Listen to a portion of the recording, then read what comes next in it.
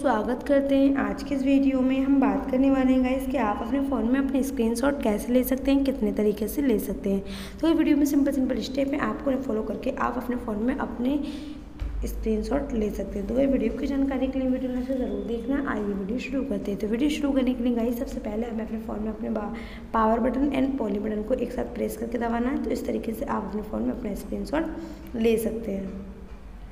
तो अगर आपको दूसरा स्क्रीन शॉट लेना है तो आपको उसके लिए क्या करना होगा? आपको थ्री फिंगर्स को ऊपर से नीचे को स्वाइप करना है तो आप दूसरा स्क्रीन शॉट इस तरीके से ले सकते हैं। अगर आपको गाइस तीसरा स्क्रीन शॉट लेना है और लॉन्ग लेना है तो उसके लिए आपको क्या करना होगा? तो आपको अपनी सेटिंग को ऑन करना होगा और यहाँ पर आपको थ्री फिंगर से नीचे को स्वाइप कर देना होगा। यहाँ पर आपको दो ऑप्शन देखने को मिल जाते हैं तो हमें स्टॉल पर क्लिक कर देना है। क्लिक करने के बाद यहाँ पर आपको जितना लॉन्ग अपना स्क्रीन शॉट लेना आप यहाँ से ले सकते हैं। तो यहाँ पर आपको ऑप्शन देखने को मिल जाता है डन तो हम इसे डन कर देते हैं। डन करने के बाद यहाँ पर आपको चार ऑप्शन देखने को मिल जाते हैं। एडिट करना चाहते हैं तो एडिट भी कर सकते हैं शेयर भी करना चाहते हैं। शेयर भी कर सकते हैं और यहाँ से आप डिलीट भी कर सकते हैं। यहाँ पर आपको ऑप्शन आ रहा है सेव तो हम इसे सेव कर देते हैं। तो कहीं इस तरीके से आप अपने फ़ोन में अपनी स्क्रीन ले सकते हैं और कई तरीके से ले सकते हैं। तो कहीं वीडियो पसंद आई हो तो शेयर करें लाइक करें। चैनल पर नए हो तो चैनल को सब्सक्राइब करें। मिलते हैं अगली नेक्स्ट वीडियो में।